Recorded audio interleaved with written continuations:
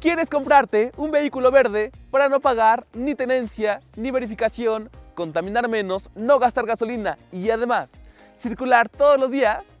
Pues entonces un vehículo híbrido podría ser tu mejor opción a compra. Y por eso tengo aquí el Kia Niro, un SUV que te busca dar más de 20 km por litro. Tiene buen espacio, buena seguridad, buen equipamiento, pero también es una realidad.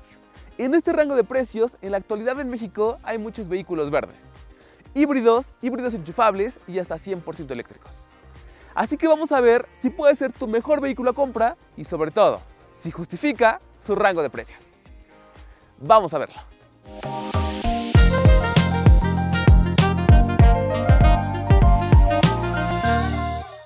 El Kia Niro es un SUV híbrido que se vende en México en una sola versión de equipamiento y cuesta 727.900 pesos. Por este rango de precios que busca darte, además del obvio, los beneficios de un vehículo verde, tanto ecológicos, en gasolina como fiscales. Tienes más espacio que otros vehículos híbridos, más equipamiento, más seguridad, para mí un mejor armado, pero también es cierto, el rango de precios es más alto. Y si consideramos que actualmente en México hay muchos vehículos chinos, eléctricos o híbridos enchufables, la competencia de Kia Niro está más complicada. ¿Pero lo justificará? Ya lo veremos. Y rápidamente, ¿con qué busca hacerlo? Con los puntos que te mencioné, además de un buen manejo, suficiente para ciudad, carretera, tanto cómodo como responsivo, y sobre todo, que Kia con el paso del tiempo ha demostrado buena durabilidad en sus vehículos y una buena reventa. Pero vayamos a ver un punto muy importante, el equipamiento, comenzando con el exterior.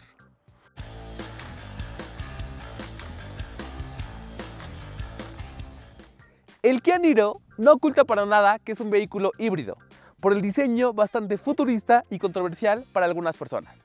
En lo personal me gusta, porque llama la atención y sobre todo no luce para nada mal. Pero déjame en los comentarios tú qué piensas. ¿Prefieres vehículos verdes que sean llamativos y que demuestran que son diferentes o vehículos con un diseño más normal si lo vemos de alguna manera? Pero hablemos del equipamiento, algo muy importante en todos los SUVs y más en este rango de precios. Los faros son proyectores LED para altas y bajas, que tienen buen alcance y buena visibilidad. Y también encontramos luces rompeniebla, además de sensores delanteros y tanto luces como limpiadores son automáticos. Y sumado a esto, este Kia en esta única versión tiene asistentes preventivos de accidentes. Por lo tanto encontramos sensores y radares justamente para estos, para darnos un vehículo más equipado y mucho más seguro.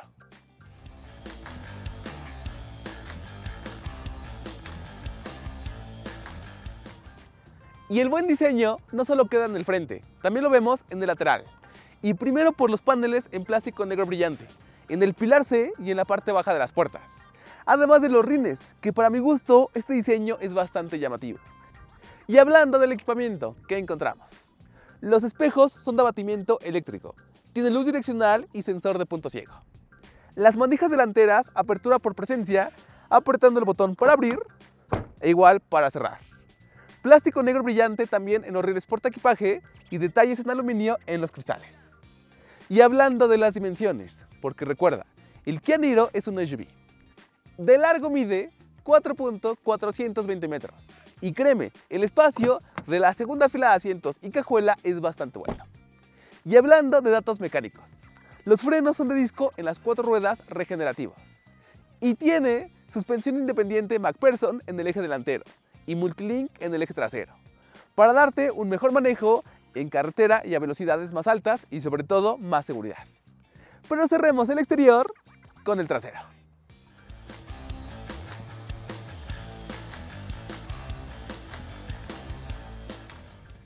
Y acá atrás veremos algo muy interesante con todos los vehículos verdes.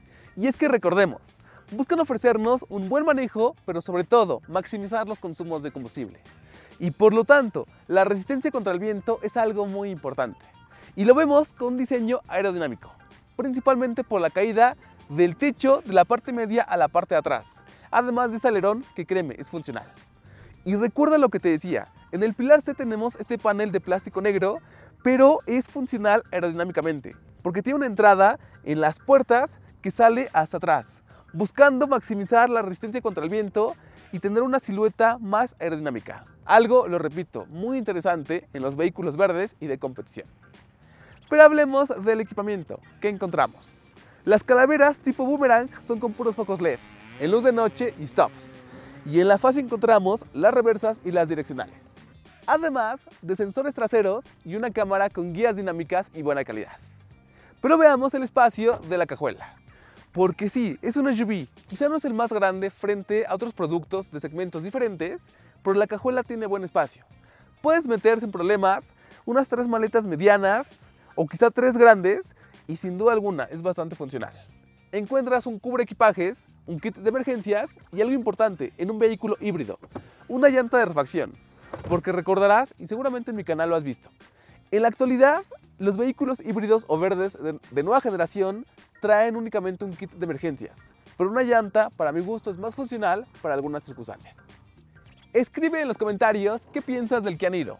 ¿Te gusta el diseño? ¿No te gusta? Y sobre todo, ¿justificará su rango de precios? Vamos a verlo al interior.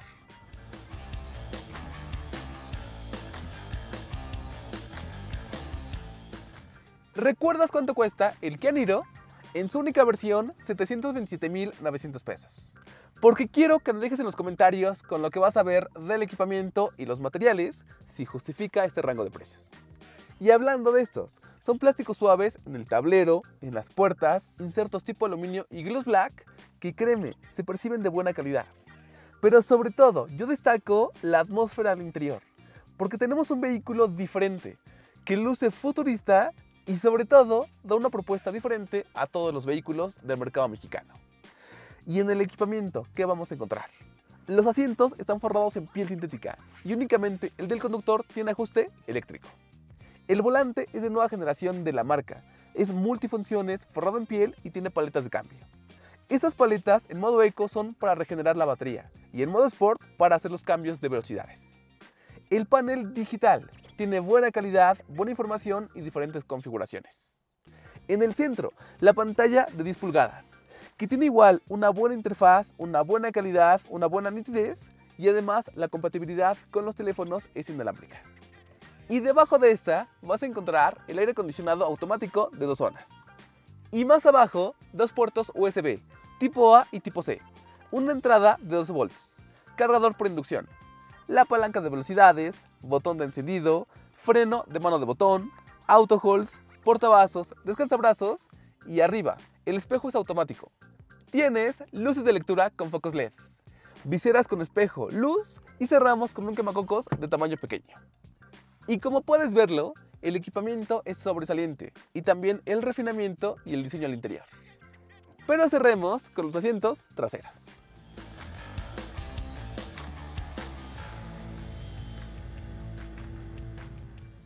Y el espacio en la segunda fila de asientos es bastante bueno, recordando que es un SUV. Y puedes verlo conmigo. Yo mido un metro con 75 centímetros y tengo buen espacio para piernas y para cabeza, como seguramente ya lo estás viendo. Por lo tanto, sí, es un vehículo en el cual puedes llevar hasta tres personas con buena comodidad. Quizá en el centro no tanto porque está más duro el asiento y un poquito más alto, pero aún así yo podré ir cómodo en viajes no muy largos o no de muchas horas. Y en el equipamiento, ¿qué vas a encontrar? Porque sigue siendo un vehículo destacable. Tienes agarraderas, ganchitos, espacios de almacenamiento, revisteros y algo muy llamativo. En los asientos delanteros puedes tener esta funcionalidad de colgar alguna prenda o alguna bolsa en el respaldo y además un puerto USB tipo C en cada respaldo mucho más fácil para que el cable no esté colgando y además puedes llevar aquí la bolsa de súper o tu bolsa o lo que quieras, mucho más cómodo sin estorbar acá atrás. Además de salidas de aire y un descansabrazos con espacio para dos vasos. Y en la seguridad no falla, ya que tiene tres cabeceras ajustables, tres cinturones de seguridad de tres puntos y anclajes ISOFIX para tus pequeños. Pero vayamos a ver el manejo y el consumo de combustible que yo le pude sacar.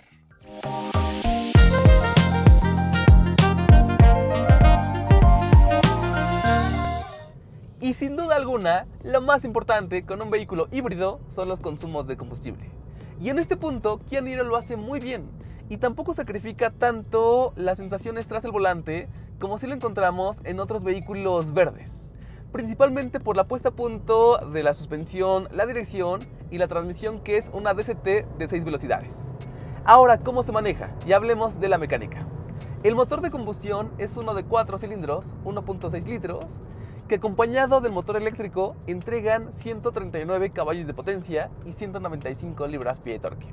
Y se acopla únicamente a una transmisión DCT de 6 velocidades.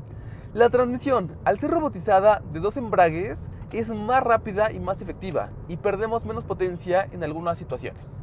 Y se maneja bien. Tenemos dos modos de manejo. El Eco, pensado principalmente para ciudad y cuando vas en un manejo normal, y el modo Sport, para carretera o situaciones diferentes o sencillamente si quieres un poquito de mejor entrega de potencia. Pero en términos generales, este Kia Niro se maneja bien, porque si bien apenas genera 139 caballos, el torque le ayuda mucho por el motor eléctrico. Si quieres cambiar de carril o hacer una situación quizá de emergencia o una maniobra más arriesgada, tienes esa potencia inmediatamente por el motor eléctrico. Y además, la puesta a punto de dirección y suspensión son ligeramente más rígidas que otros vehículos híbridos.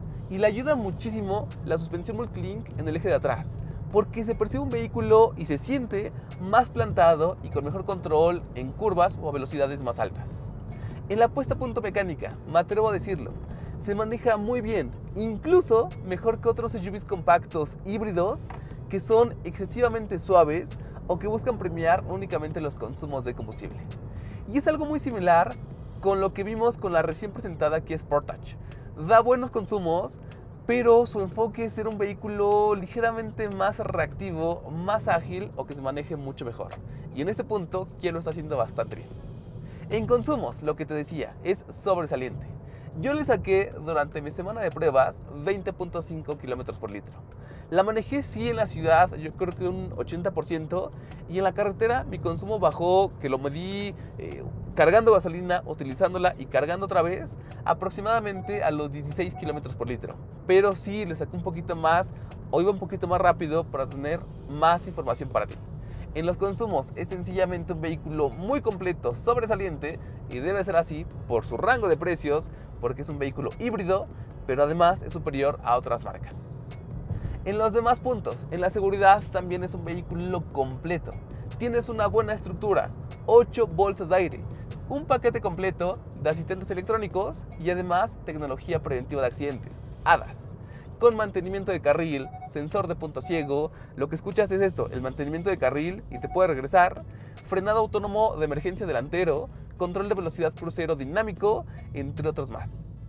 Con esto sí, sencillamente, es un vehículo muy completo y de los más seguros en este rango de precios.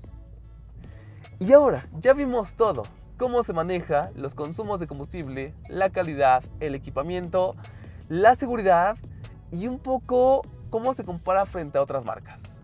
¿Y qué te puedo decir y, y qué puedo concluir de este Kia Niro?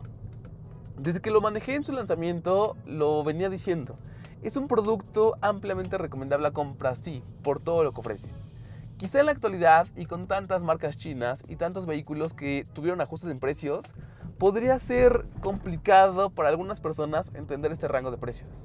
Porque por 727.900 pesos, es cierto, hay otros vehículos híbridos quizá más grandes, híbridos enchufables y hasta vehículos 100% eléctricos. Pero ¿por qué digo que sí es un vehículo recomendable a compra? Porque tenemos un nivel de seguridad bastante completo. Tienes un buen equipamiento, como pudiste verlo, un buen manejo y creo que sí justifica lo que cuesta si analizamos todo lo que ofrece. Y más porque Kia es una marca con 8 años en México, que ha demostrado ser fiable, durable en diferentes apartados.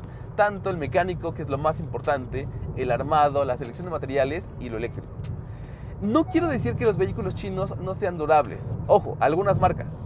Pero creo que si estás dispuesto a invertir más dinero en un vehículo, porque si es inversión o gasto, como tú quieras verlo, en un vehículo verde, creo que podría ser más seguro comprar en una marca con eh, pues esta durabilidad que ha mostrado, que tiene distribuidores en todo el país y sobre todo una postventa mucho más establecida.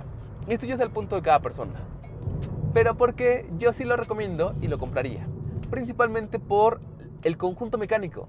Te da buenos consumos y se maneja bien como pudiste verlo. Tienes una buena durabilidad que se percibe y se ha visto, y principalmente por la seguridad y el equipamiento.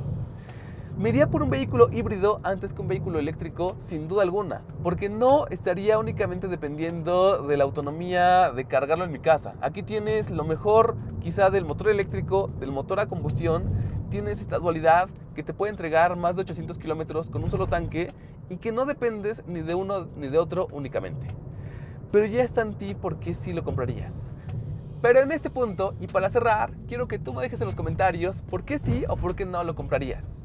727.900 pesos. Es cierto, no es un rango de precios muy bajo, pero si analizas lo que ofrece, si se ajusta a ti, tus necesidades, tu uso, el espacio y lo que te gusta, sí podrá ser una opción interesante a compra. Escribe en los comentarios qué harías, lo comprarías, no lo comprarías. No olvides suscribirte a mi canal, el botón está acá abajo, dejarme tu like y nos vemos el martes con un nuevo video.